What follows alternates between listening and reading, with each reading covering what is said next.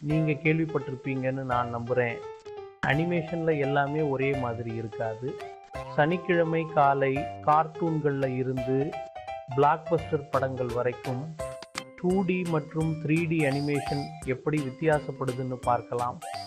சரி அனிமேஷன் ரசிகர்களே இதை பற்றி கொஞ்சம் விரிவாக பார்க்கலாம். டூ டி அனிமேஷனா அது உங்களுக்கு பிடிச்ச காமிக் ஸ்ட்ரிப்களை போல் கிளாசிக்கானது கலைஞர்கள் ஒவ்வொரு பிரேமையும் வரைஞ்சி அந்த பழைய தட்டையான தோற்றத்தை கொடுக்குறாங்க.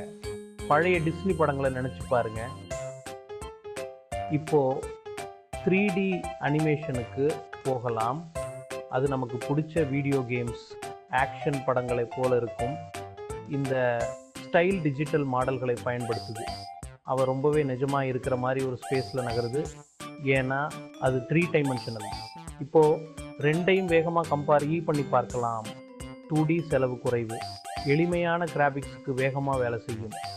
ஆனால் த்ரீ டியோட டைனமிக் மூவ்மெண்ட்ஸுக்கு ஈடு கொடுக்க முடியாது. த்ரீ டி பிரமிக்க வைக்கிற ரியலிசத்தையும் எஃபெக்ட்ஸையும் கொடுக்குது. ஆனால் அதுக்கு ஒரு ஒரு பவர்ஃபுல் கம்ப்யூட்டரும் நிறைய நேரமும் தேவைப்படுது. சரி உங்களோட பிஎஸ்என்டி என்ன? டூ டியோட மென்மையான கிளாசிக் அனுபவமா? அல்லது த்ரீடியோட துணிச்சலான மனசை ஈர்க்கிற உலகமா? கமெண்ட்டில் சொல்லுங்கள்